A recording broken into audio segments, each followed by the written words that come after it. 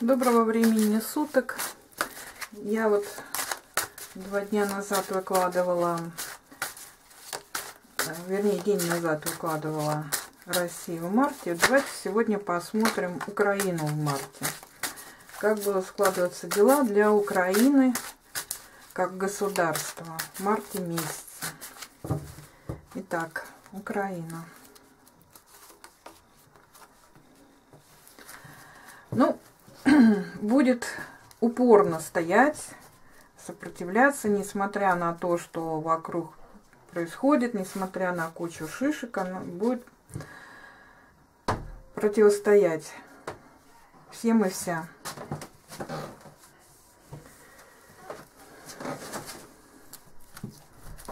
Так, упорно причем. Ну, в какой-то степени это будет приносить и свои плоды.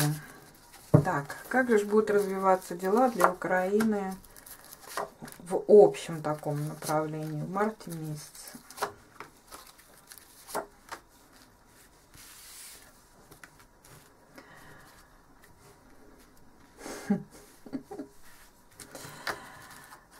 Движение к цели будет неясным. Не То есть э, цель поставлена, но как это осуществить, где найти ресурсы, какие уж там руководство Украины поставило цели именно как для государства. Ну, скорее всего, боевые какие-то цели, но как это осуществить, э, не будут до конца понимать полный туман и страшно, потому что, видимо, существует все-таки где-то понятие, что может прилететь, и для этого еще ресурсов и недостаточно. Будут собирать ресурсы, то есть, ну, ресурсы нужны для самой страны не для каких-то вот целей, да, а именно на данный момент нужны ресурсы для того, чтобы более или менее благополучно жить в стране, потому что в стране-то люди остались, несмотря на то, что там правительство принимает какие-то решения, чтобы стабилизировать положение именно самих людей в стране а для целей ресурсов будет недостаточно, и будет непонятно, как идти, идти к целям. Но, может быть, надеюсь, что это вопросы еще и связаны именно с тем, чтобы для людей наладить жизнь. Но как это сделать, тоже будет непонятно. Ну, посмотрим дальше, как будут складываться дела в экономике страны.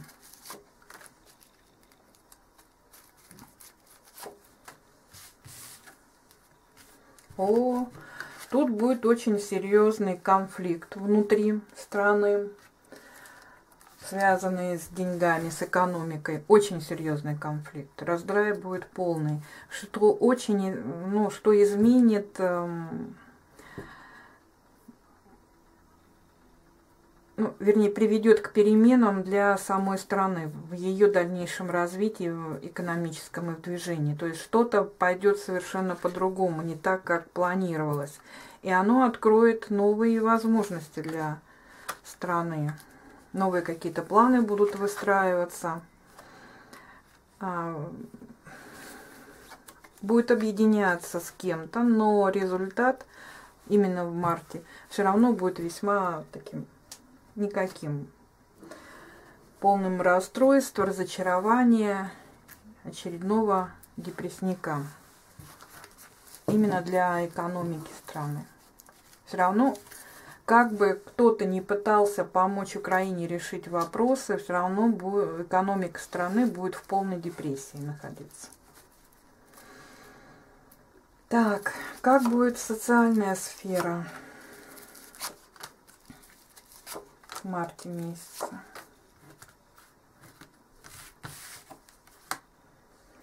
Ну, социалка что-то будет придумано руководством страны, такое неожиданное и очень и очень рискованное, ненадежное.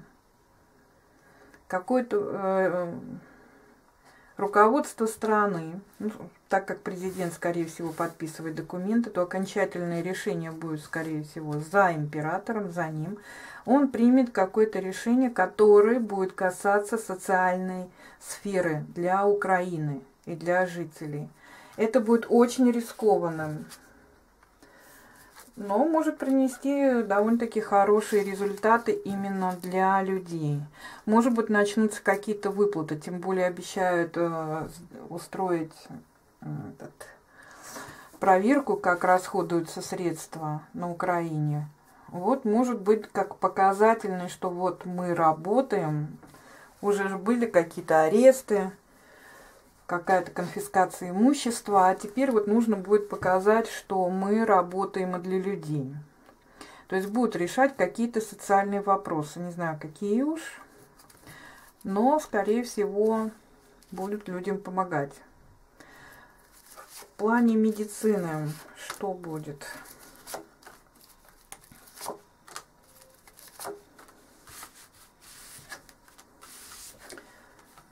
Ну, медицина будет очень серьезно зависеть от того, как будет, ну,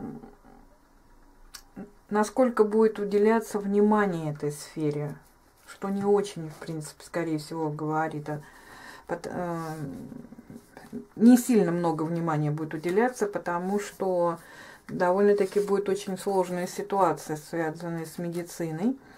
И будут э, выделяться извне деньги, либо, э, может быть, что-то произойдет такое, что нужно будет срочно принимать какие-то меры именно в плане медицины, и нужна будет помощь серьезная извне.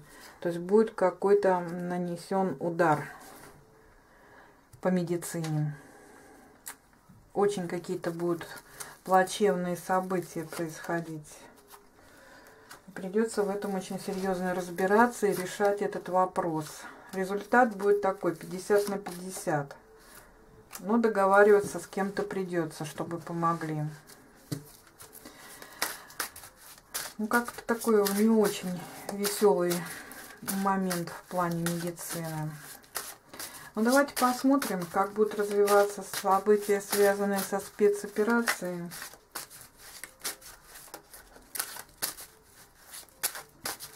на Украине.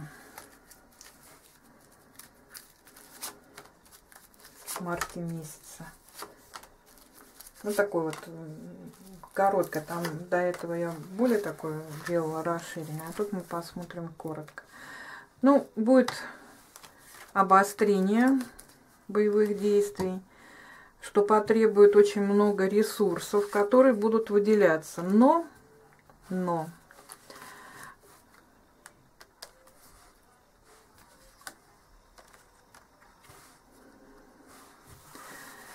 очень многое придется пересматривать старые способы уже не будут работать. То есть все, что до этого планы какие-то строились, планировались какие-то действия, они результата не принесут.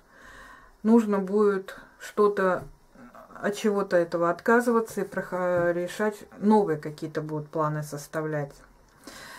Но все равно в результате пройдут через э, очень серьезные потери. Возможно, будут терять очередные потери территорий. Причем события будут развиваться довольно-таки быстро. Для того, чтобы им как-то как, получить какой-то результат, нужно будет от чего-то отказаться. А с чем это у нас связано? О чем это? Это сила, которая будет их контролировать или давить на них. А, вот оно что. Опять же переговоры.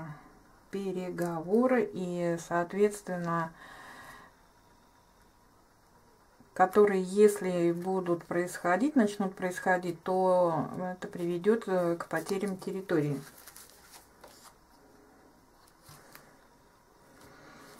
Кто-то очень амбициозный решит, что все-таки надо бы попробовать сесть за переговоры и прийти к какому-то результату. Но остальные все будут просто в ожидании, что будет и как будет дальше.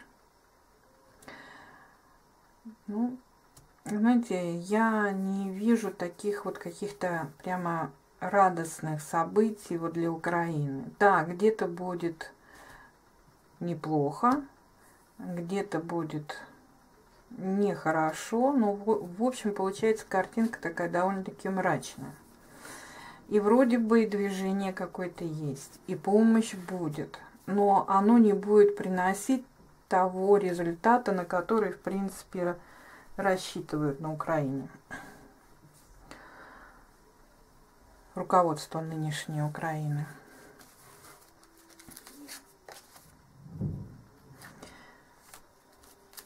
Вполне возможно, что они решат организовать вот провокацию какую-то, но какие-то новые придумают, составят планы, но это больше будет все-таки как напугать, вот именно как провокация, спровоцировать, потому что на самом деле за этим особо ничего не будет стоять. Переговоры будут на них очень серьезно давить, обещать им чего-то будут для того, чтобы они сели за стол переговоров. А будет сам переговоры состояться? Нет. Но сами переговоры в марте месяце, во всяком случае, они не состоятся. Но давить будут очень жестко. Уже начинается серьезное давление на Украину извне. Потому что Европа, в принципе, понимает, если проиграет Украина, значит проиграла Европа и проиграла Америка. Они и Англия. Они этого не хотят. Но понимают, что Украина уже проиграла. Да, события развиваются очень медленно. Не, нет того быстрого, как многим бы нам хотелось, результата. Но все равно движение есть, есть в России результаты, и впереди они еще будут, и это мы скоро увидим.